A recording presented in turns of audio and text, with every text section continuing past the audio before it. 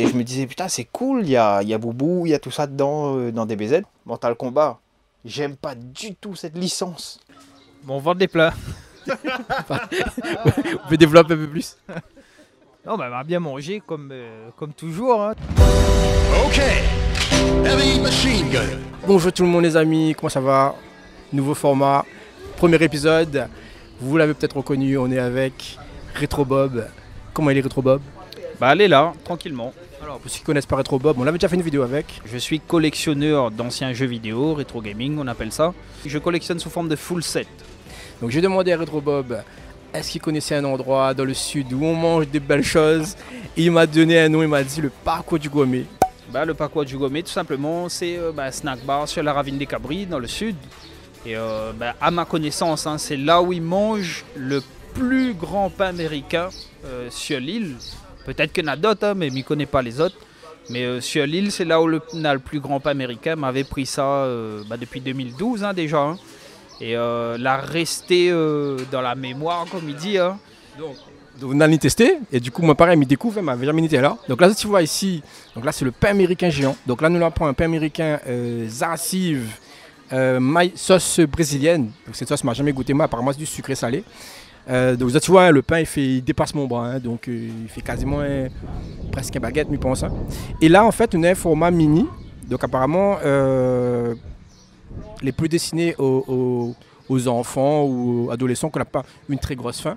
Donc même s'il est petit, il me trouvait quand même assez compact. Et celle-là, c'est un pain américain poulet rôti, si je ne dis pas de bêtises. Voilà, donc ça dégusteuse à faire. Et puis nous dit à autres, ben, ben, quelles nous bonnes impressions. Donc c'est parti.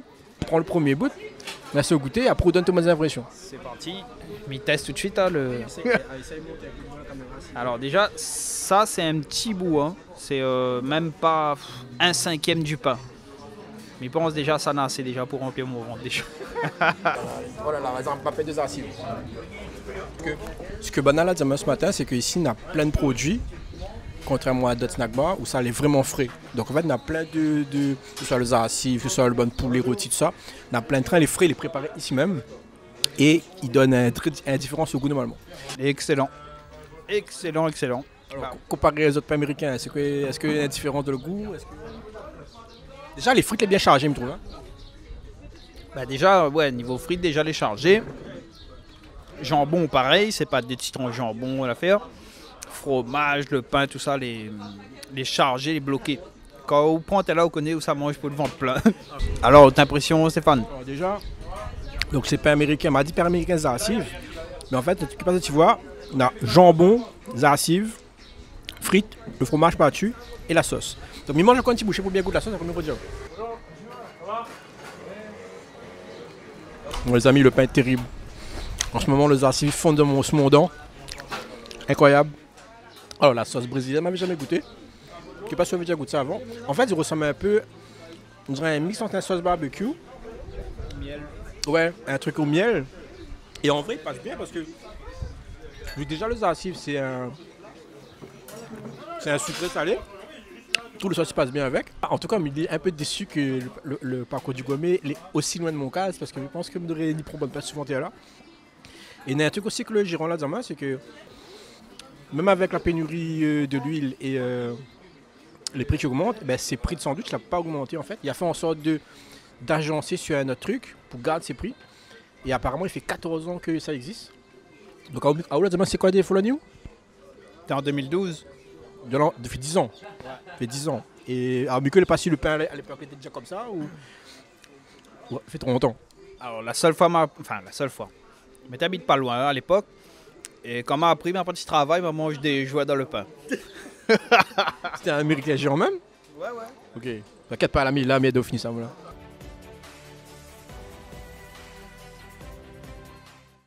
Autant le mini et autant le- l'américain géant, les gars, mais genre, le pain est chargé, les gars.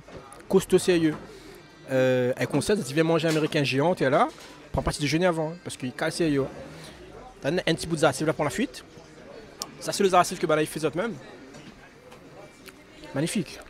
Ceux qui ne connaissent pas la ville de la ravine des Cabris, comme moi qui ne connais- moi qui n'y suis pas venu très très souvent, si tu veux bien manger, faut passer là.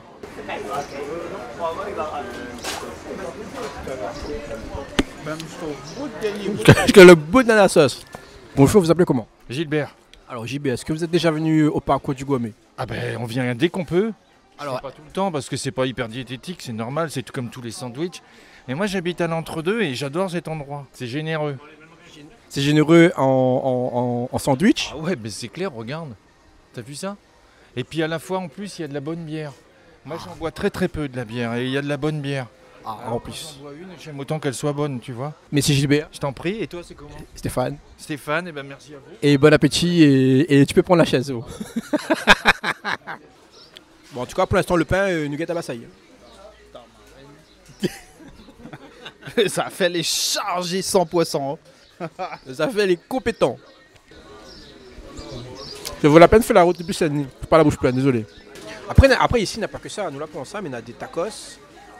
des ta- Il y en a des euh, il y a kebab, hamburger. Il y a- il y en a beaucoup de choix en plus. Ça me trouve les cool. Stéphanie coupe ça avec délicatesse. Oui, si on l'a pas, fait ça d'une vie antérieure. Il veut pas, il veut pas blesser le pain. Il est temps de tester euh, la pièce maîtresse. Et euh, donc toujours pareil, hein, on a, on a deux petits tranches jambon dedans, le poulet rôti, les frites et la sauce algérienne. Du coup, c'est parti. On voit des plats, gars. on voit les plats. Quatre pas de finir ça à nous. Les gars, et puis on. Voit les plats. Il reste encore plus près de la moitié de pain, l'américain géant. La moitié de l'américain mini. Alors déjà, encore une fois, le poulet il est bien chargé. Là, c'est pas le pain au c'est d'azote euh, intensifié la viande dessous et feu dessus. Là, on a vraiment au goût mission en plus. hein. On a beaucoup de morceaux de poulet dedans, le poulet rôti. La petite sauce pas trop fort comme il faut. Euh, il pique pas trop la bouche. Donc, à moi, par exemple, il peut plus trop manger piment. Et euh, il passe, hein, en vrai, il passe. Il n'arrive même pas à choisir entre le zarcive et celle-là parce que les deux n'ont un goût différent, mais les deux les bons. Et celle-là, en vrai, le, le petit sauce il passe bien avec le poulet. Bon, bon. Le gars, la plus de mots. A few moments later. Ouais, les amis, après quelques minutes, euh, le défi n'a pas été, n'a pas été relevé. n'a pas fini. Euh, la Rassano, un bout, les amis. Que passe, tu vois La Rassano, avec un petit bout, là. Euh, rétro est pas là jusqu'à la fin, regarde. La Rassano, un petit bout, avec un petit bout puis. Euh, voilà, donc bilan du parcours du gourmet. Tout le monde est super sympa ici. Euh, autant les, les, les gérants, autant le personnel, autant les gens qui viennent ici. Il est vraiment la cool. T'as là, ça pas vu, mais le gars là, il rôle la chaise. Il y a des causes avec nous hors caméra. Il y a à nous que du coup, tu es là, il trouve l'ambiance. n'a que ici, trouve ça. Il a fait plein de potes, tu es là, il passe des, fois des après-midi, tu es là. Il fait beaucoup de connaissances, bah, les causes, il apprécie, franchement, euh, bonne humeur, euh, tout le monde est sympa. Euh, c'est ce qui m'a retrouvé ici en plus. Alors, a pas trop de notes la bouffe, mais euh, s'il me donne un, genre d'avis, un genre de, de notes, en vrai, hein, il est dans l'un des meilleurs pains américains que moi à manger de, de toute ma vie. Euh, m'a d'autres noms, hein, mais de tous les pains que m'a mangé, que ce soit les pains faits maison, les pains chez les gens, les pains dans les snacks, tout ça, c'est un des meilleurs parce qu'il était, il était costaud, il était bien chargé, il était bon et la sauce, tout est passe bien, franchement. hein. La ravine des Cabri représente le parcours du gourmet, les amis. En plus, ils ont envie de faire sport après, juste derrière, dans le parcours. Tu peux le courir un petit peu, tu peux marcher un peu, faire une balade pour digérer. Midi, passe parce que la caméra, mais d'abord, m'a vraiment apprécié mon petit moment là. Ah, laisse ce petit mot rétro Bob, de son avis. Bon, on vend des plats. Vous pouvez développer un peu plus. Non, bah, on va bien manger comme, euh, comme toujours. hein, De toute façon, hein, c'est euh, l'endroit où, euh, quand on a besoin de manger un pain américain, c'est ici, m'y vient. Mais là, tu vois la pêche, hein. mais autant là, mesure, mon corps il est lourd. Là, en fait, quand on a bien mangé, qu'on est en train de digérer, et là, on a plus envie de bouger, là, j'ai envie de dormir, en vrai, monsieur. J'ai envie d'allonger, dormir. Donc, ben là, ce qu'on peut faire là, du coup? Bah, Stéphane ne largue pas le corps, comme il dit, donc euh, la suite. Et la suite, bah, c'est le café. Mais invite à boire un café la case. Bon, allez, on va mettre un petit café chez, chez Retro Bob et peut-être on va mettre un peu, un peu de, plus de peps. Voilà, bon, on la trouve euh, chez Monsieur Retro Bob. Attention, on n'aura point le temps de cligner des yeux, nous sera déjà là-bas dans 5, 4, 3, Two machine gun.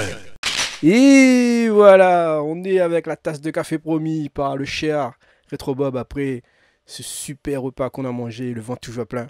Alors, euh, changement d'ambiance ici. Euh, Il y a beaucoup de choses autour de moi. Alors, on est où là? Bah là, on est à Retro Bob Collection. C'est euh, bah, l'endroit où se trouve justement ma collection, la collection Retro Bob. Et euh, bah, c'est mon repère secret en fait.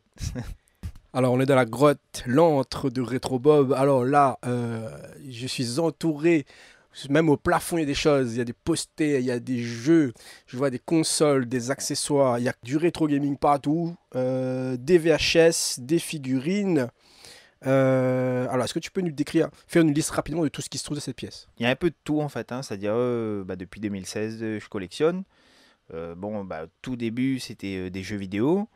Après, au fur et à mesure, c'est rajouté à ça bah, quelques figurines, quelques accessoires, des VHS, des CD audio, des POG, un peu tout ce qui se rapporte à l'univers bah, des années 80, 90 en fait. C'est- je trouve que c'est en corrélation avec euh, bah, ce que je fais et c'est ce que j'aime aussi, tu vois, c'est euh, la nostalgie. Alors, c'est vrai qu'on nous rentre dans cette pièce, on fait un bond dans le temps. Euh, une fois que vous franchez cette porte, on n'est plus en 2022, on est des années, allez, 1980, 1990 à peu près.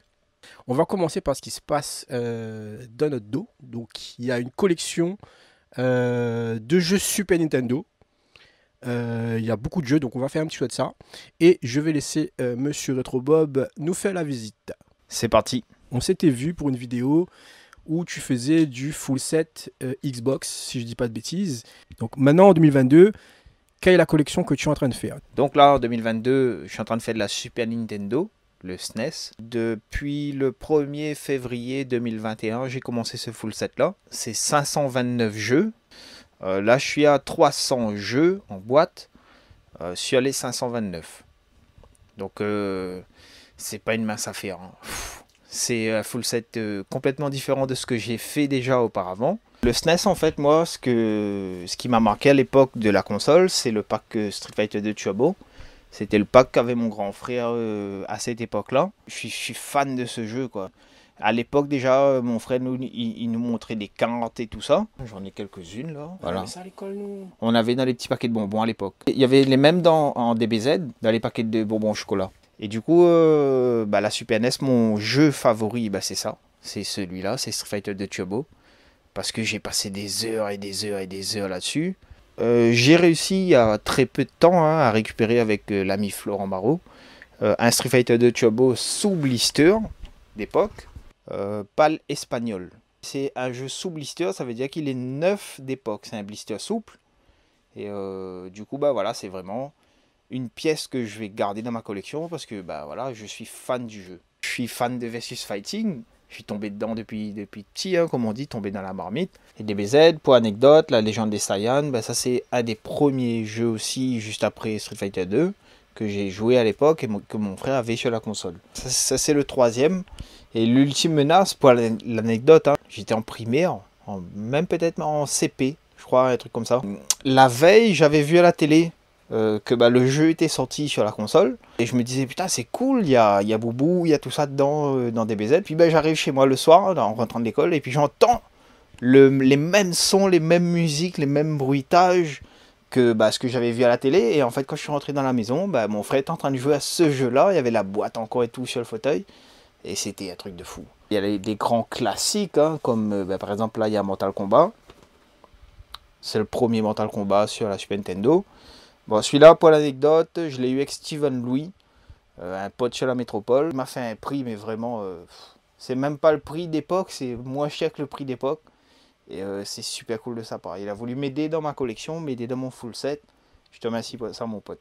Mortal Kombat, j'aime pas du tout cette licence. Mais alors depuis le début, hein, je l'aime pas du tout parce que c'est hyper dur. Y jouer, y jouer, y jouer pour connaître tout par cœur. Et euh, comme on dit en créole, il faut veiller la coque. Il a fait fureur quand il est sorti en arcade. Et bon, après c'est ça aussi le full set, hein, c'est collectionner des jeux. euh, ben, même si tu aimes pas forcément la licence, au moins tu l'as en ta possession et tu peux dire j'aime pas cette licence. Sur Super NES, le dernier qui est sorti, c'est celui-là. Je crois que je l'ai lancé une ou deux fois. Et euh, à chaque fois, je me dis, mais pourquoi je lance. Enfin, je vais peut-être dire un gros mot, mais pourquoi je lance cette merde?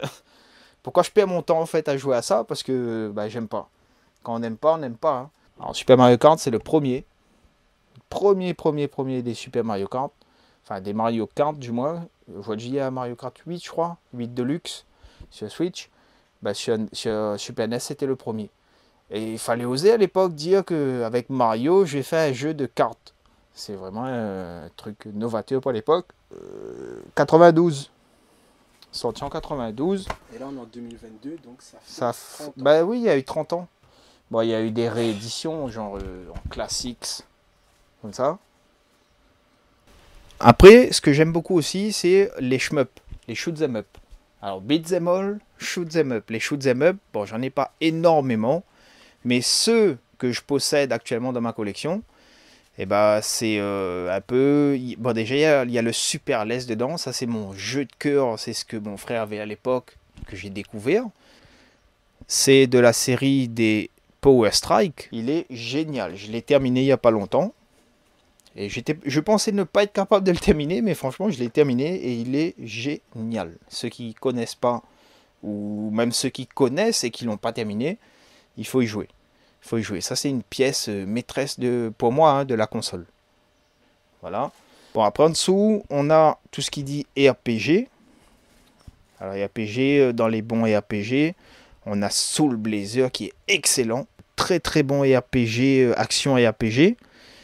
Bon, certains diront que c'est pas un RPG parce que machin, mais moi franchement, je joue à un jeu. Quand j'y joue, je me dis, je me fais mon propre avis sur le jeu. Je me dis, c'est un RPG. C'est un action RPG. Euh, par exemple, j'ai joué, pour comparaison, j'ai joué à Zelda 3, le Link to the Past, qui est ici.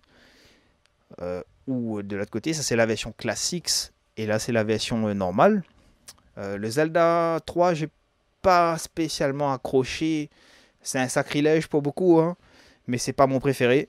C'est pas mon préféré. Je préfère largement un Soul Blazer, euh, qui est pour moi beaucoup mieux. Ou un Illusion of Time. Euh, Ça m'a beaucoup plus passionné que le Zelda 3. Le Zelda 3, pour moi, était euh, plus. était moins bon. Bon, je dis les choses comme elles sont. hein. Pour moi, dans mon sens, à moi, était moins bon. Sur le SNES, on a aussi bah, tout ce qui dit action, euh, plateforme. par exemple, là, il y a Donkey Kong Country. On ne présente plus un Donkey Kong. hein, C'est le premier Donkey Kong sur la console. Le premier jeu d'action plateforme. Le premier platformer de la console. Ça, pareil, on l'avait à l'époque. C'est un jeu courant de la console. hein, et euh, il est excellent. Excellent, excellent. Mais difficile. Parce que la Super Nintendo, c'est euh, finalement un support qui coûte super cher. Bon, c'est pas le but de montrer des jeux qui coûtent super cher, mais c'est à la fois les jeux les plus rares et euh, bah, ce que j'ai de plus gros dans ma collection. Bon, j'ai encore un autre jeu qui est sur un autre support qui est plus rare. Mais pour le coup, bah voilà, sur Super NES, il y a un peu de tout là. Il y a du Demon Crest par exemple. Demon Crest en FH, mais ça c'est un jeu assez recherché. Pas facile à trouver, surtout depuis la Réunion. Au niveau des prix, c'est combien du coup? Euh, ça, ça va entre 500 et, et 700 balles, le jeu. 700, ça peut aller plus. c'est- le Super Nintendo, tout dépend de l'état. Ça veut dire plus le jeu est en bon état, plus. euh, ce qu'il faut savoir, collectionner depuis la Réunion, c'est. euh, J'ai estimé à peu près à 30%. euh, ça augmente de 30% la difficulté d'une collection. Voilà, donc ça c'est le Mega Man X. Donc c'est la base hein, euh, dans la collection Super NES, euh, j'ai envie de dire. Celui avec lequel j'ai commencé la collection euh, l'année passée, c'était le Mega Man X2 qui est là. Le Mega Man X2. Bon, ça c'est un jeu quand même qui est recherché quand même. hein. Il n'est pas facile à trouver, surtout à La Réunion. Et celui-là, je l'ai eu dans un échange. J'ai envoyé la moitié du full set Neo Geo Pocket Color avec des consoles, tout ça. Bon, pas que contre ce jeu-là, mais euh, contre euh, trois jeux, il me semble. Donc il y avait le Mega Man X2 dedans. Et ça m'a motivé à commencer le full set euh, Super NES.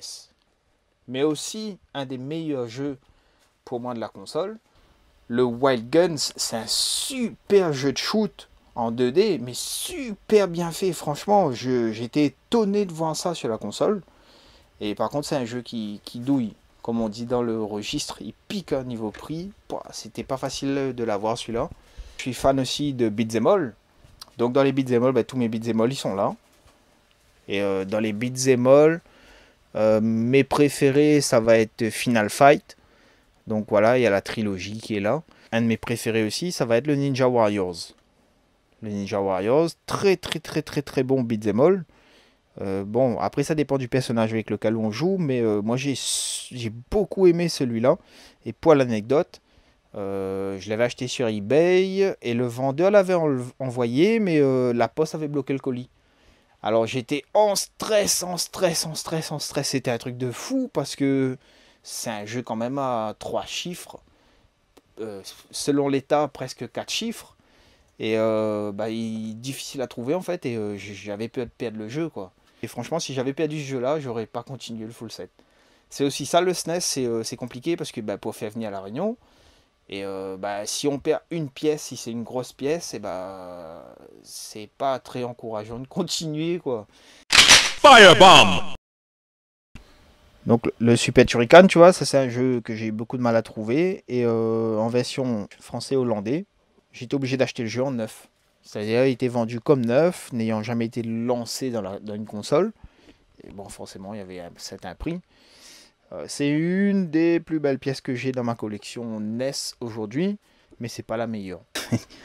bon, là, tu vois, par exemple, là, on a un Battletoads sur NES sous blister rigide. Bon, le blister rigide est jauni, c'est un fait. Le blister rigide est craquelé euh, à certains angles, hein. Mais ça reste un jeu neuf sous blister rigide NES. Euh, C'est pas un jeu euh, très courant, surtout en blister NES. Et c'est même un jeu introuvable actuellement sur les différents sites de vente. Et euh, je suis peut-être en train de voir pour faire un échange avec un gars en Autriche pour ce jeu-là contre du Super Nintendo. C'est une, des pièces aussi cool que j'ai dans ma collection NES. Bon, il est cool Battletoads, hein, mais c'est pas le meilleur jeu. Ce que j'ai de plus beau dans ma collection NES, je te fais voir. Ah, c'est une big box, on appelle ça. Et en fait, ça m'a pris euh, C'est quoi une big box? une big box, bah, c'est une grosse boîte en fait. Quand tu regardes l'épaisseur, Mais il y a un accessoire dedans ou c'est juste. c'est euh, oui, dedans en fait, tu as euh, bah, des. En fait, c'est un truc qui se joue avec le robot Rob. Chez NES, pour ceux qui savent. Rob, en fait, c'est le, le robot NES, c'est un accessoire. De toute façon, tu vois en bas là, à gauche, il y a une petite tête de- d'un robot là. Et, et en fait, le robot, lui, bah, c'est grâce au Rob que tu peux jouer à ce jeu-là. Sans le Rob, c'est impossible. Et euh, dans la Big Box, en fait, tu as des accessoires pour pouvoir y jouer. C'est complémentaire euh, au qui était vendu, lui, avec le pack Deluxe euh, sur NES. Et euh, si tu veux, en fait, ça, c'est une des plus belles pièces de ma collection parce que bah, j'ai acheté cette pièce-là euh, à la fin de mon full set NES. Et euh, tout au long de ces 7 mois-là, en fait, j'ai suivi cette pièce-là euh, pour voir s'il y en avait d'autres qui allaient euh, apparaître sur eBay ou quoi. Et il n'y en avait pas. Il n'y en avait pas, c'était la seule, le seul stack-up en vente. Et bah, jusqu'à aujourd'hui, hein, il y a des gars, en fait, qui me demandent bah, si je vends cette pièce-là ou, ou quoi, si, si j'échange. Ben forcément, si bah, ils n'ont pas de quoi correspondre en valeur d'échange avec le stack-up, c'est compliqué. Parce que c'est une grosse pièce du full set NES. Du coup, le full set NES, je l'ai fait en 7 mois. Euh, bon, j'ai sacrifié beaucoup, beaucoup de jeux aussi de ma collection d'avant, parce que bah, j'étais à 6500 jeux euh, début 2019, bah, jusqu'à mi-2019. Et euh, il me semble que c'était pas loin de 2000 jeux qui sont partis à l'échange et à la vente pour pouvoir avancer mon SNES, mon NES, pardon. Et euh, bah c'était une communauté aussi que j'ai, parce qu'au fil des full sets, j'ai fréquenté euh, pas mal de communautés, pas mal de gens et tout ça. Et très solidaire, c'était une communauté très solidaire, j'en garde de très bons souvenirs. En plus de, de redécouvrir, de découvrir les jeunesses que j'avais connues à l'époque. Et voilà, la vidéo est déjà finie. Euh, on vient de voir la pièce maîtresse de l'ami Retro Bob. On va finir là-dessus. Alors, en tout cas, je te remercie de m'avoir invité dans cet euh, endroit perdu dans le temps à La Réunion. Les liens qui vont s'afficher euh, sur la vidéo, on mettra aussi en description. Abonnez-vous aussi à la chaîne Reno Gaming Crew, les amis. La chaîne YouTube Reno Gaming Crew, chaîne principale. La chaîne secondaire Reno Gaming Crew, Nakama VOD. Ça, c'est plus pour le gameplay gaming. Le Facebook, le Instagram, le Discord, le Twitter. J'affiche tout aussi. Bah, merci de m'avoir invité déjà euh, bah, ce midi, c'était excellent. Et puis bah, au grand plaisir de partager avec euh, bah, le public réunionnais, hein, et puis bah, même euh, au-delà de la réunion, de partager ma collection, de partager notre passion qu'on a euh, bah, en commun. Et euh, bah, c'est toujours un plaisir, hein. c'est ça aussi le but du rétro aussi, de la collection, c'est le partage. Comme le dit le dicton, Reno Gaming Crew. Calcule pas, Télan fait le fou. Hein. Alors Okay.